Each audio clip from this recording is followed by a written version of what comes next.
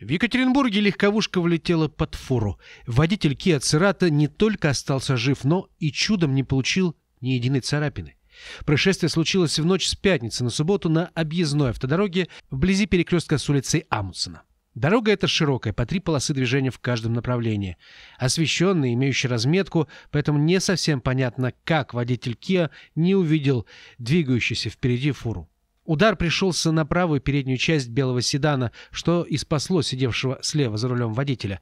На пассажирском месте, к счастью, никого не было. Очевидцем виновник столкновения признался, что отвлекся на телефон во время движения и не заметил появления огромного грузовика на своем пути.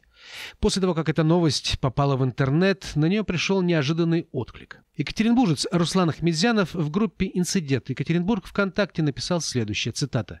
Этот имбецил на Ситраке вчера натворил делов. Ему чем-то не понравилась манера езды моего отца. Отец был на КамАЗе. И он начал с кольца Серафимы Дерябиной догонять, подрезать, тормозить перед отцом. Ближе к перекрестку отец остановился, подошел к кабине Ситрака и спросил, что не так, зачем он так делает.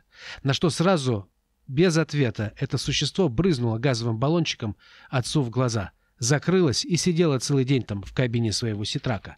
Конец цитаты. Фотографии, демонстрируемые Русланом, подтверждают, что это тот самый грузовик, который спустя всего несколько часов на той же самой объездной автодороге стал неожиданным причалом для белой Kia Cerato.